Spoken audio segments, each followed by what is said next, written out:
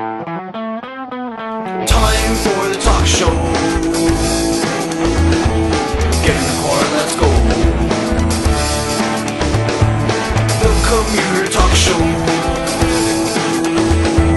Come on, all y'all, let's go. Been waiting all day. Come on now, let's celebrate. Open the door, take a seat, it will be great. The commuter talk show.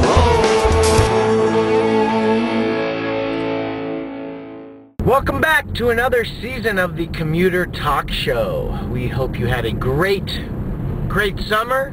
Hope you didn't let those long, grueling, traffic-filled commutes get to you too bad. And we've got an exciting season coming up.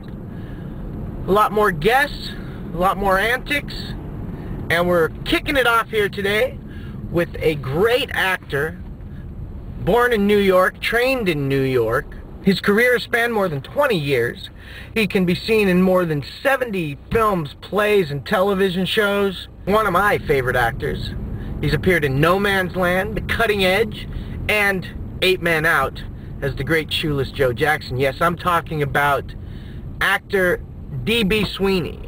And we might add now, he's actor, writer, producer, director D.B. Sweeney, having completed two films of his own, Dirt Nap, and Two Tickets to Paradise, which are currently on the film festival circuit. And we're doing something a little different here today. DB needed a lift to the airport, so we're going to pick him up, get him in the car, interview him, and take him to the airport. So we hope you enjoy the ride. Let's go find DB Sweeney. Welcome to the talk show.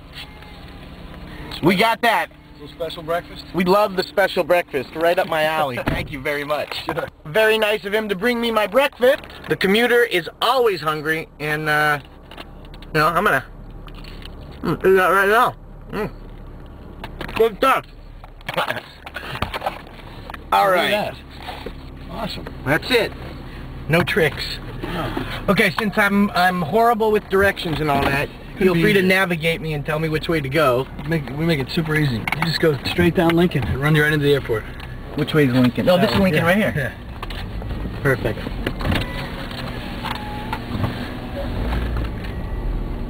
Always hard to leave the family. It's getting harder. I've traveled too much lately. All right, so now, so you're headed to. I'm going to Toronto for the Toronto Film Festival, and then I go to uh, New York for a couple days.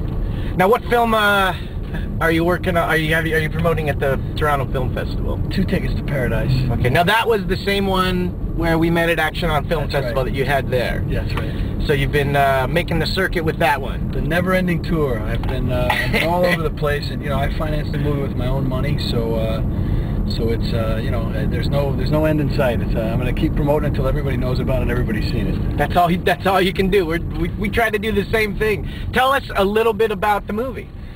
All right, two tickets to paradise. That's the one. Two tickets to paradise. I uh, wrote and directed it, and it's a story of, and I produced it with my own money. It's a story of three guys who, when they were 20 years old, they were the kings of their little Pennsylvania town. A football player, uh, the valedictorian of the high school, who's now at an Ivy League school, um, who was then at an Ivy League school, and I play a rock and roller who's just starting to work in some clubs and making a name for himself. When the movie starts, they're on the verge of 40 and they're completely mediocre. They've never left their town. They've never accomplished anything.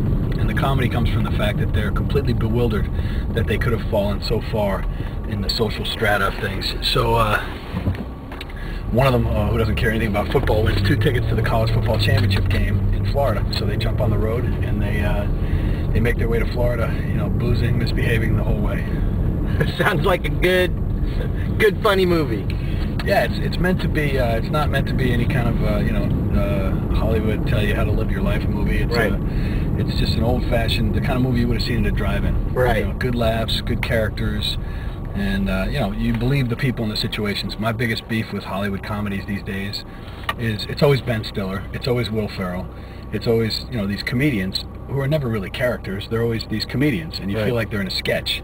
So uh, I remember when there were comedies back in the day you know, like Diner, or you know, there's so many other examples that you could bring up Sure. where where you actually believe these characters in these situations, and the comedy comes out of that. So I feel like Hollywood's gotten really lazy with the comedy writing, and uh, you know, Brian Currie, my partner, and I are trying to do our little bit to Right.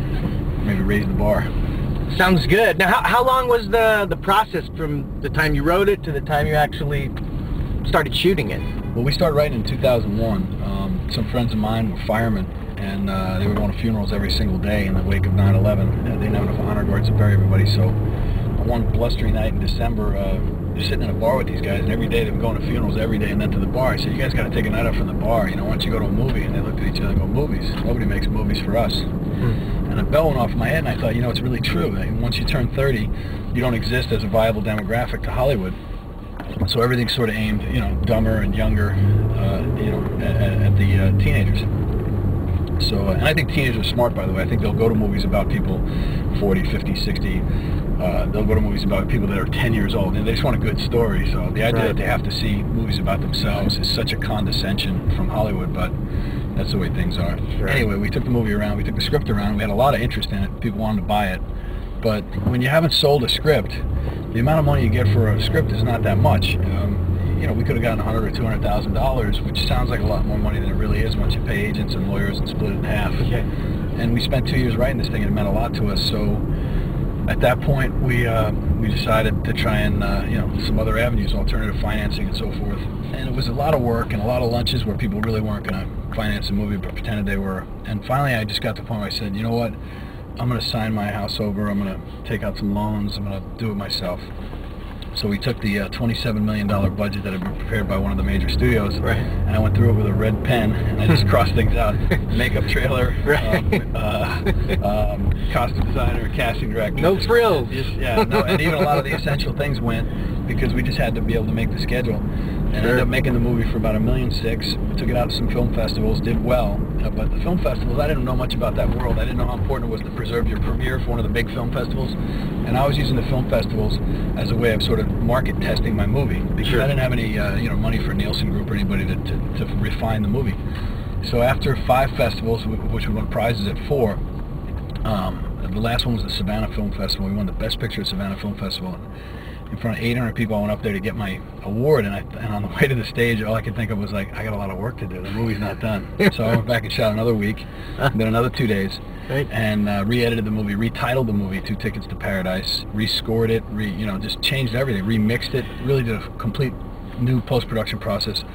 And then took it out again about a year ago, and uh, I guess about a year and a half ago now, and uh, immediately won several more film festivals, Vail and so forth. And then, uh, but there was no theatrical deal forthcoming that really made sense. So I decided, you know what, like the rest of it, I'm going to try and make the best financial decision. So I went straight to DVD. The movie's going to be on Showtime starting in January. You know, it's it's it's having it's sort of like the tortoise and the hare movie. Right. It's building up ahead of steam now. It's taking a long time, but everybody that sees it really seems to enjoy it, and uh, it's been a great, great experience for me. I've learned so much about the whole process of preparing a movie. I already knew a lot about shooting movies, but I didn't know much about post-production of movies.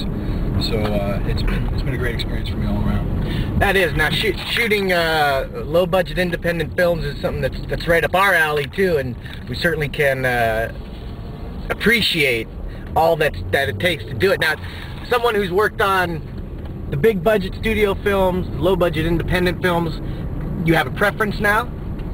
Well, sure, you always want to be on a big budget movie, have a big fat dressing room, and get paid a lot of money. but you know, it's uh, so you know the movies that Hollywood makes are are increasingly conventional. You know, I mean, everybody talks about how great Batman was this summer, in The Dark Knight, and I thought it was bloated, and some of the acting was good, but I, I didn't think it was anything great. And uh, Tropic Thunder is the other big movie, I guess, from the summer, and I didn't think that was particularly good. They're just these big fat movies. Right. And uh, so, I mean, would I love to be in one of them making a lot of money? Yeah, sure. But, uh, but I don't want to be the third guy on the right in one of those movies, not making a lot of money. Right. I'd rather be uh, at the center of an interesting story, an independent film, or, you know, it's no secret for the last 10 years or so, the TV shows and increasingly cable TV shows is where all the best writing is. And since this is one of our longer segments, we're going to break it up into two parts. So tune in next time on the Commuter Talk Show to see if we get DB to the airport on time. Commuter out. The Commuter Talk Show.